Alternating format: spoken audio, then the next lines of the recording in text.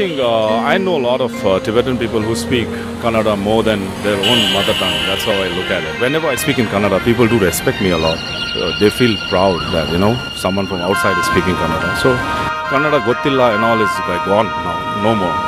ಕಾವೇರಿ ನೀರು ಕಾವೇರಿ ನೀರು ಕುಡಿದ ಮೇಲೆ ಕನ್ನಡ ಬರಲೇಬೇಕು ಆಟೋಮೆಟಿಕ್ಕಾಗಿ ನಾವಾಡುವ ನುಡಿಯೇ ಕನ್ನಡ ನುಡಿ ಗಂಧದ ಗುಡಿ ಶ್ರೀಗಂಧದ ಗುಡಿ ಆಹಾ ಆಹಾ ಆಹಾ